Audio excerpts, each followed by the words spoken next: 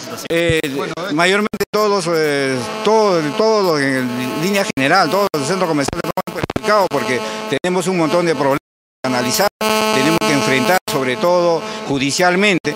Entonces, eh, por eso que yo prioritariamente necesito la comprensión de la señora Maribel y su grupo que ya deben conversar conmigo y darme las llaves, entregarme la documentación, porque el tiempo se me acorta para llevar a cabo las elecciones. Yo no quiero dejar en acefalía la institución.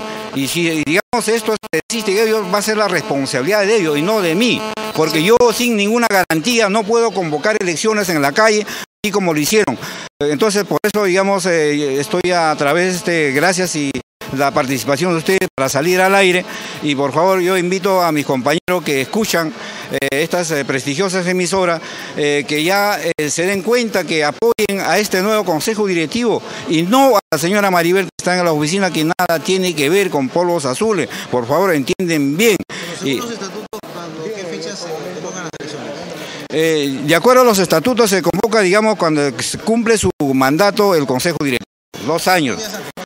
Eh, 15 días antes se establece, digamos, este, la asamblea convocatoria. Así, una asamblea eh, ordinaria 15 días, la extraordinaria es en 8 días. De asumir usted eh, el cargo como presidente, ¿qué le propone a los comerciantes en este No pongo más que nada la unificación de todos mis compañeros, trabajar todos, eh, digamos, empujando el coche en un solo sentido, no podemos estar divididos. Yo sé que, digamos, hay grupos, compañeros anteriores, los ex dirigentes, han tratado de dividir por los azules, digamos, acá en el centro comercial.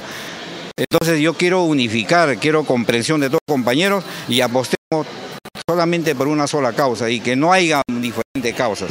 ¿Cuánto tiempo es el trabajo del, comité electoral, señor Jamanca?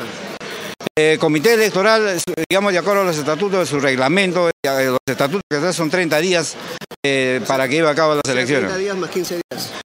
Al la comisión Asamblea. Sí, así es. E- Eso lo sabe usted perfectamente, señor Soto. Usted, digamos, está haciendo papel de periodismo, pero lamentablemente usted está haciendo acá una causa que realmente no viene al caso. Usted es un socio, pero sin embargo usted apoyó a esta junta directiva que está enquistado. Usted es el autor como un de compañeros que, que hicieron para que esta señora se, se, se quede en la oficina de administración. Por lo tanto, a mí me tienen que dejar trabajar. Yo voy a convocar elecciones cuando haya garantía, cuando la señora me entregue el acervo documentario. Yo no puedo convocar elecciones desde la calle. Esa es la respuesta que que queríamos. Sí, sí, sí. Esa es la respuesta que queríamos. Así.